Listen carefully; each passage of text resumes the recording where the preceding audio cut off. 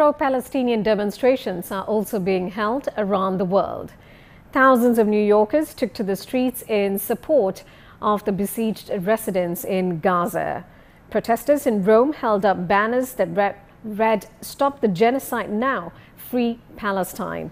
Hundreds of protesters also marched in the French city of Marseille, urging Israel to end its military operation. And for the rallies in the UK, Evangelos Sipsas has more from London.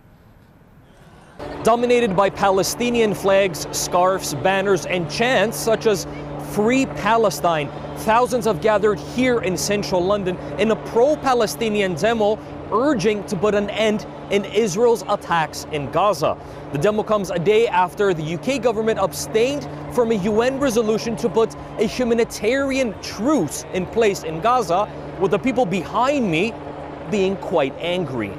I don't understand how you could see what's going on in Palestine, in Gaza, and just abstain? Do they not care about what's going on? You know, with the people that are suffering there. I'm expecting my government to listen to the people. And as we're coming out here today, I'm expecting, you know, just some compassion. I think that's the bare minimum. That's why we're out here, because we want some liberation for people who are discriminated on all bases. Crowds gather near the Golden Jubilee Bridge holding signs, flags, and stickers with red, white, black, and green colors before marching through central London to Parliament Square. The demonstration was one of the largest the country has seen in recent years, even larger than last week's, where more than 100,000 people participated.